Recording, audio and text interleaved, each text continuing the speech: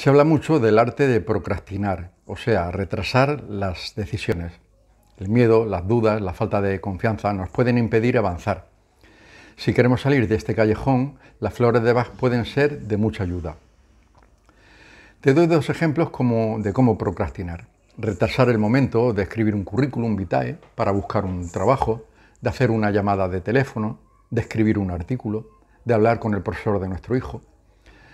Todas estas actividades cotidianas a veces se retrasan porque no conseguimos enfrentarnos a nuestros miedos. Damos vueltas, encontramos otras cosas por hacer, evitamos, nos enfermamos o tenemos un accidente. Cualquier excusa es buena para no enfrentarnos a nuestros retos, a nuestra realidad. ¿Por qué esta facilidad en procrastinar? Porque nuestro mundo emocional está desequilibrado. El miedo nos bloquea, las dudas nos bloquean, la falta de confianza nos bloquea. Si no conseguimos hacer lo que nos hemos planteado es que no estamos, nos estamos boicoteando a nosotros mismos y tenemos que enfrentarnos a nuestra realidad. Es el momento de entender por qué somos capaces de procrastinar actividades que nos vendrían bien. A veces vamos a procrastinar porque dudamos de nosotros mismos, nos comparamos. Si retraso el momento de buscar un trabajo, entonces no me voy a enfrentar a un posible rechazo, a un no. Aquí lo que me bloquea es el miedo a ser rechazado. Si retraso el momento de hacer una llamada a unos clientes importantes para cerrar un negocio, el procrastinar me está impidiendo tener éxito. Quizás sea porque siento que tengo que justificar delante de mis amigos mis logros y no me siento meritorio de ello. La culpa me bloquea. Procrastinar una cita es una manera de no permitirse conocer a alguien, de quedarse en el pasado y no querer cambiar su presente. Preferimos quedarnos con nuestro dolor a vivir la vida que se nos está ofreciendo. Estamos demasiado atados al pasado para permitirnos disfrutar del presente. Es interesante en nuestra sociedad eh, no pararnos de movernos, de ir de un lado para otro, de hablar, hablar, de tal manera que no nos queda tiempo para lo esencial, el amor, la paz, el disfrute del momento presente. Esto es el arte de procrastinar, evitar ir a lo esencial. Una ayuda con flores de Bach puede ser muy efectiva. Las flores de Bach nos ayudan a equilibrar estas emociones revueltas, que no nos permiten estar a gusto con nosotros mismos. Enfrentarnos a nuestra realidad es permitirnos querernos más y ser auténticos. Las flores de Bach son remedios naturales que equilibran emociones tales como el miedo, las dudas, el enfado, la falta de autoestima, la angustia y muchas más. A continuación dejaré una lista importante de 10 pasos a seguir para dejar de postergar o procrastinar. Primero, crea una lista de tareas por hacer. Sí, Haz una lista a la antigua, con cosas que tienes que hacer y casillas de verificación, y todo incluido. Escribe en la lista todo lo que tienes que hacer en el día, ya sea una tarea grande o una pequeña. Divide las actividades grandes en actividades más pequeñas si es necesario. Luego, marca cada uno de los elementos en tu lista a medida que los vayas terminando. Vas a sentir autosatisfacción al ver que tu lista tiene cada vez un menor número de tareas por realizar. Enfócate en poner en tu lista las cosas que generalmente dejas fuera, no en poner las cosas que haces de forma regular. Si es necesario, coloca plazos para terminar las cosas de tu lista. Por ejemplo, escribe en tu lista sacar a pasear al perro a las 12.30 en vez de solamente sacar a pasear al perro. Revaleo tu lista a mediodía para clasificar las tareas en orden de mayor a menor importancia. Luego, completa las tareas más importantes antes que las tareas más pequeñas. Segundo, completa las cosas difíciles. Si tienes un proyecto que terminar pronto y te está absorbiendo completamente, haciéndote inefectivo en otras áreas, debes terminarlo antes que cualquier otra cosa. Terminar con la tarea más larga de tu lista te hace sentir más productivo y te da el impulso para hacer otras cosas que has dejado de lado si tu proyecto grande es algo que no puedes terminar rápidamente, entonces divídelo en una lista con actividades más pequeñas que puedas terminar en un día.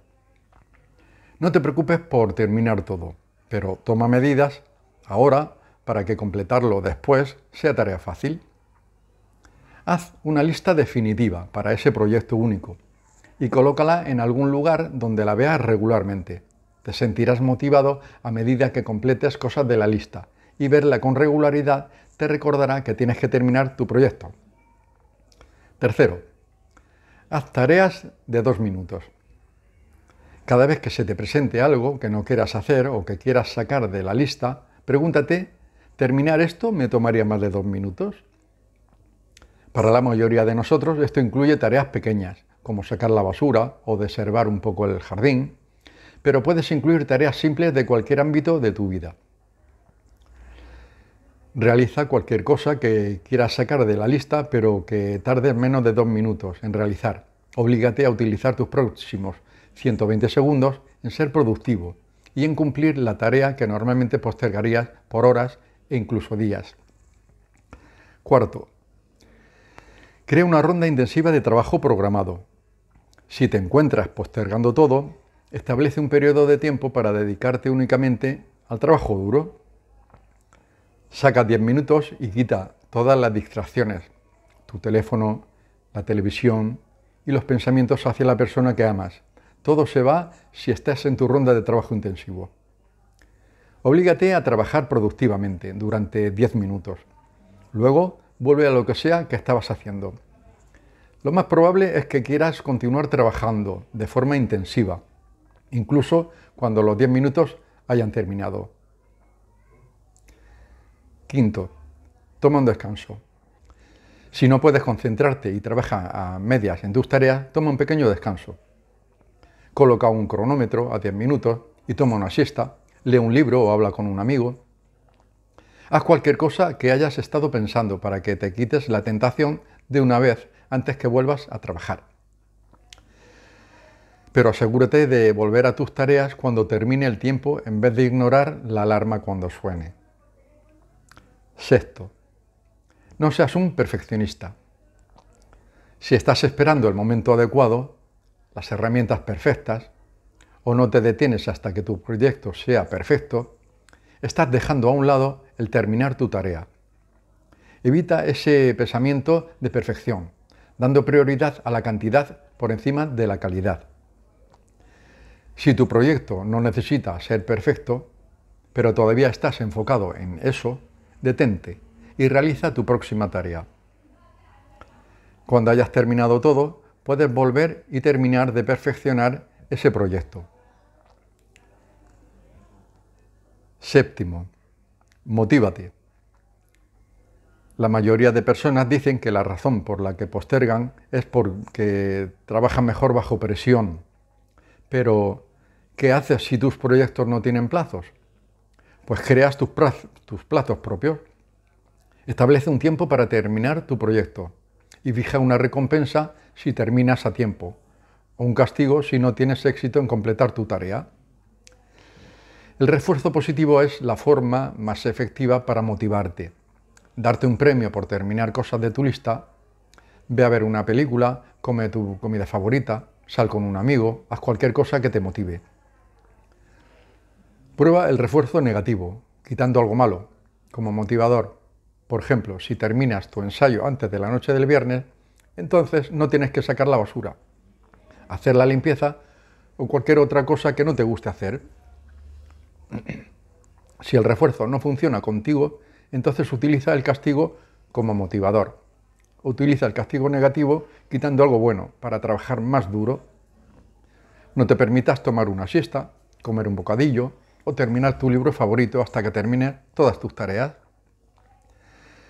Para los casos más graves de postergación, pon tu dinero en juego, dale a alguien cierta cantidad de dinero, por ejemplo 50 euros, y diles que los gasten en lo que quieran, si tú no terminas tu proyecto en el plazo establecido. De ese modo tienes que trabajar si quieres conservar ese dinero que has ganado con tanto esfuerzo. Octavo, consigue a alguien que te ayude. Si no te funciona trabajar solo, busca un amigo o un familiar que te ayude diles que te alienten a que permanezcas trabajando y pide su ayuda si lo necesitas. Hablarle a alguien sobre lo que tienes que hacer te motiva a terminar tu proyecto, porque si no lo terminas tendrás que pasar por la vergüenza de admitir ante ellos que no pudiste lograrlo. Programa un par de horas para completar tus proyectos con un amigo. De ese modo, tienes a alguien contigo mientras trabajas y te mantienes concentrado. Programa chequeos con tu amigo para que te llamen a ver cómo vas. Estos pueden ser los plazos para ciertas tareas en los que serás alentado o castigado por tu amigo basado en el informe de tu proyecto. Noveno. Haz tu tarea en un lugar ordenado. Está comprobado que el desorden visual genera agotamiento, estrés y mala concentración. Décimo, concéntrate en la meta final. Es fácil ver solamente la lista gigantesca de cosas por hacer, en vez de ver el sentimiento de satisfacción por haber terminado las cosas de la lista. Mientras trabajas, piensa en todo el tiempo libre, relajación, dinero o lo que sea que ganes cuando termines el proyecto. Esto te ayudará a terminar la tarea y trabajar hacia tu meta. En este vídeo no te recomiendo ninguna flor de Bach concreta. Consulta con un terapeuta especializado el origen de tu tendencia a procrastinar o postergar las tareas. Puede ser por miedos, inseguridades u otras razones que el profesional ha de investigar. No lo dejes para más adelante, pues está en juego tu salud. Nada más por hoy. Nos vemos en el siguiente vídeo. Si te ha gustado, dale un like, suscríbete a mi canal y activa la campanita. Hasta pronto.